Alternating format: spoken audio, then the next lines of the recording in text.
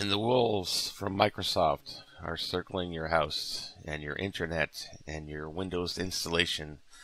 And it's a sad time uh, since uh, they backported their tracking technology and telemetry to Windows 7 and Windows 8. And if you weren't watching uh, your Windows update carefully, you probably have it um, and not even know. Uh, I became aware of it when my internet connection, wireless internet, was, uh, for lack of a better word, throttled when I was trying to, um, when it was starting up. It would take a while for it to start up. So I found a, uh, lots of articles, and they're pointing to the uh, KB installs on which ones are the uh, invasive um, updates. And as soon as I removed those and restarted, my uh, in, uh, network connection was instant uh, upon uh, boot up. so enough of that. Um, I'll put links in the description if you weren't aware of that.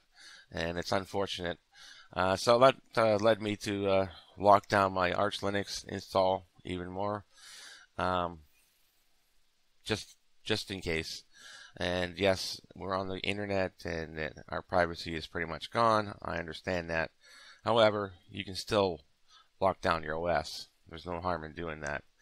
So I've talked about this before, but uh, to make it easier for myself or anybody else that wants to try, I made a couple of very, very simple Bash scripts uh, to encrypt your partition or hard drive or actually your system, uh, your root system, and uh, have that ready for you without uh, having to type in too much into a terminal. So with that said, uh, obviously I have Arch Linux in VirtualBox ready to go. So I'll just do my usual routine and uh, tap, press tab and space and VGA equals 791, approximately uh, 1024 by 768. And uh, I'll let that uh, load up. So uh, here's here's the uh, install that I use called PreArch, and just again to make it easier to install. Um, and there's two files here that I've added to the JIT repository, LVM encrypt A for uh, device A, SDA, and SDB, uh, but they don't include anything like uh, a home or a swap. Uh, but uh, you have to have a dedicated root partition. So this is all it is. Okay, you can copy and paste into your own text and call it whatever you want, or you can download it. Um, um, when installing Arch, either on VirtualBox on your system or whatever. Um, and it, basically, it just uh, saves time from typing in a lot of stuff. So in my case, whoop, sorry, uh, in my case, I just do uh, after I've synced my mirror list, I just uh, grab uh, two programs, Reflector and oops, and JIT and uh, let those download and install. Once those are installed, it's just a matter of calling the JIT re repository. So JIT clone HTTPs uh, jithub.com slash my username and then pre underscore arch. And it's just a bunch of uh, installation helper scripts basically. And ls pre-arch, or you can ls the pre underscore arch directory. And there's uh, everything that I use to set up uh, Arch Linux. And there's the two files I just mentioned, LVM, so logical volume management uh, plus encryption on either device SDA or device SDB. You can adopt those to SDE, but they're only on one system, uh, one partition it won't work with multiple partitions or anything. You have to use a different method uh, than this. So just a simple encryption on uh, your system on your wherever you're installing Arch Linux. Okay, so uh, basically you have to make them executable. So chmod and very easily type plus x and uh, pre-arch lvm underscore. In this case, it's going to be a, and that's it. So we'll just leave that uh, uh, ready. Uh, leave that for now because um, there's a couple things you have to do beforehand. So it was a clean partition. Uh, fdisk will work just fine. Uh, so fdisk, you can do a dash L, and if you know the device like SDA in this case, oops, uh, DEV SDA, you see that's nothing on there. So I'm just going to take out the L and we'll just fdisk device SDA. So N for new. Uh, primary partition number one. Default sector leave the same. And in this case, it's going to be a plus 512. I, I like to leave enough room. And that's going to be our boot partition. And it puts you back to the, the blinking cursor. cursor and we're going to type in another new partition, default primary uh, partition 2, and first and last sector are going to be the same. However, for partition 2, we're going to type in T for the type. It's going to ask you which type. Uh, we're going to uh, for partition 2 is which is default anyway. And if you want to list, you can uh, type in L, but uh, for LVM logical volume is uh, 8E. And it says LVM, Linux LVM, and then it's just W to write. And then uh, let's uh, do that list. You see uh, device SDA, 512 Linux, and device SDA2 is Linux LVM. So let's call up our uh, web page, and we'll look at the uh, LVM encrypt A bash file. And it's uh, this is what it does: crypt setup, luksFormat slash dev sda2, and then you have to open it, and then it uh, creates uh, physical volume, a volume group, and logical volume uh, on the root, and then you make it will make a file system to uh, XT, XT, extension 4, sorry, uh, with these parameters, root dash root. As you see here, root and root are the same. You can call those anything you want. I just, it's all root. So I just left them like that. And it mounts a device mapper root root to slash MNT and then create an extension 2 for the boot because we're really not going to be journalizing anything on the boot and then it makes the directory and then it mounts that device okay? So that's what this script does. So it makes it a lot easier. And again there's no home there's no swap. So we'll just type in uh, pre underscore arch lvm enc they're all underscore lvm underscore enc underscore a. And do you want to overwrite any data? Well of course there isn't anything on there really. So capital letters you have to type in capital letters or it won't work. So it's yes and enter a passphrase it's going to ask you for that phrase twice. And then it's going to ask you to open the device with the password you just or passphrase you just put in. And now it's uh, formatting and mounting uh, the devices. So if we do an ls slash mnt you see there's boot and lost and found. Okay? From there you just basically install arch the way you normally would. So the, what I like to do is just very simple uh, pacstrap uh, on the mounted partition base and base dash devel press enter. Let it sync. Download and install Arch Linux for you. So I'll be back when that's uh, ready to go. Okay so uh, Arch Linux is installed and uh, we'll just generate our file system table. And I'll do this for the uh, paranoid and all of us. I'm going to type in gen fs tab.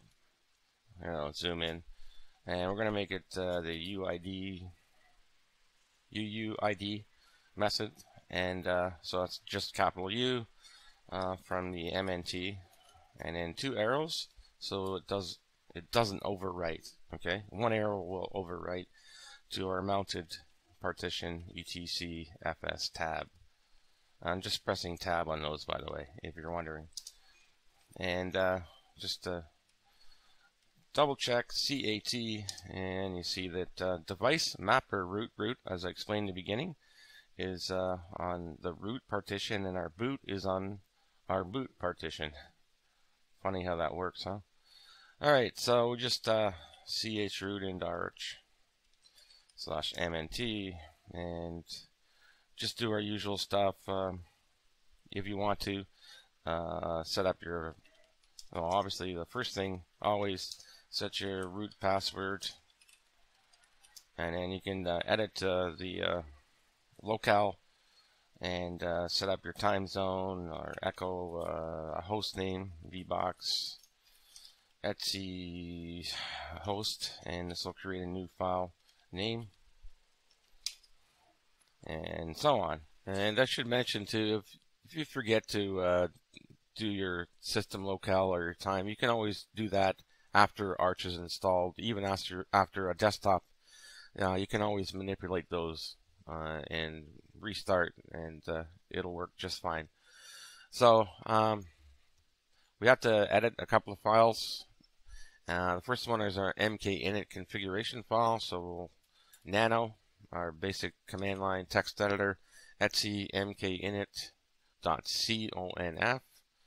You get here, just just keep pressing the page down and arrow key up a bit to where it says hooks, and just arrow key over and space bar and back a bit, and file system. Just before that, type uh, encrypt and LVM2, and that's it for that. So Control O to write that out, and Control X to exit. Now we'll uh, download our uh, grub configuration, and uh, this I should mention is uh, legacy grub BIOS. There's no UEFI of any kind uh, involved in this. So uh, Pacman dash capital S grub. if you're using another OS, you want to get you probably want to get OS dash prober as well. Alright, so it might take a little longer to initialize the grub configuration uh, because of the encryption. And uh, once that's finished, uh, we'll just run our uh, mkinit uh, configuration file. So mkinit uh, cpio-p and the word Linux and let that do its thing and you'll see the encrypt and LVM hooks are um, in the, the file.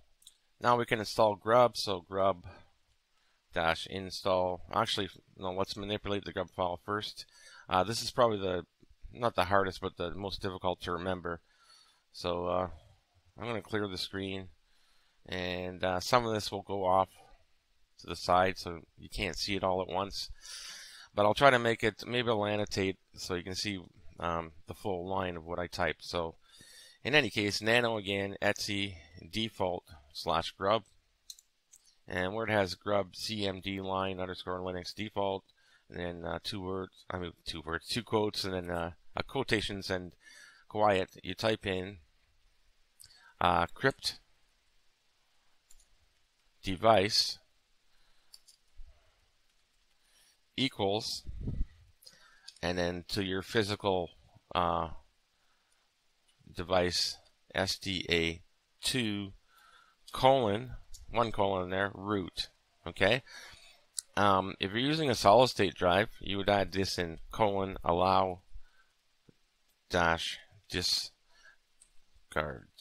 discards, and actually you can do that after um, you reboot and boot into Arch, but whatever way you want to do it. But in this case, we don't need that um, since we're in a virtual machine. Or if you have a mechanical hard drive, you don't do, need to do that either. Okay, so after that's another space, uh, root equals slash dev slash mapper slash root, and you guessed it, dash root. And that's it. And I'm just going to do one more thing here. Okay, so once you're done with that, just uh, write that out and exit. Now don't forget to install Grub. so grub dash install device SDA and it's installed there. I made an, an alias for uh, grub-mkconfig go slash boot. I just called up dash grub. And uh, you'll see lots of uh, warnings, errors. Uh, that's because it's trying to uh, read from the USB uh, and temporary folders. But don't worry, it it will work. All right, so it's done. So we just exit Arch Linux, chroot, and umount, unmount basically, MNT and a dash capital R, and type in reboot. So if you haven't removed or whatever, if you're in a virtual box or virtual environment such as VirtualBox, uh, just go to boot existing OS and give it a bit of time.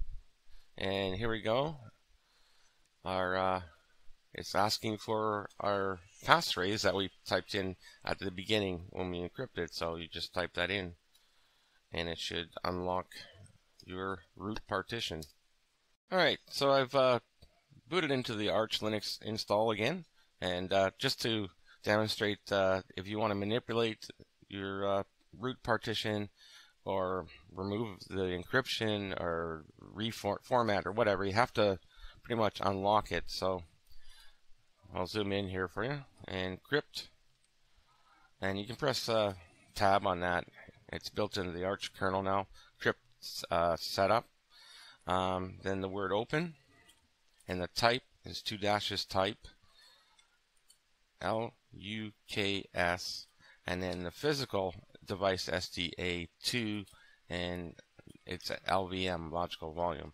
So you press enter, and it's going to ask you for your passphrase to open it like you would when you uh, boot. And then we want to mount the uh, DEV MAPP device uh, ma mapper, then root uh, dash root to mount to our MNT and you ls slash mnt and you see we have our uh, arch install and then you can arch ch root to mnt and now it's open. Or if you exit oh I'm sorry exit and you mount uh, mnt and a capital R and if you want to f disk that uh, DVSDA, what you have to do is delete the partition by pressing D, and you have to do that twice, then press W to write, and then format. I'm going to quit, and obviously I don't want to do that, but that's basically what you do to unlock it if you have to for whatever reason. Okay? Um, now, what I found, uh, performance wise on the solid I haven't noticed any difference um, on a solid state drive. Uh, the only difference I did notice, and I'm not sure if I did something wrong, is using uh, CloneZilla. Instead of uh, a minute and a half, it took uh, 20 minutes to do a backup. And uh, CloneZilla also lets you encrypt it as well. Um, but beware of that if backing up uh, an Arch Linux root encrypted partition with CloneZilla might take longer than you anticipate, as far as I know for now. So just be aware of that. Maybe, like I said, maybe I missed something. All right, so uh, that should do it for uh, encrypting your Arch Linux installation, and there's there's many other uh, graphical tools for um, personal encryption and stuff that you can get, which I might talk about a, a bit later. Alright, so that should do it for this one. And thank you so much for watching. And we'll talk to you soon. And bye for now.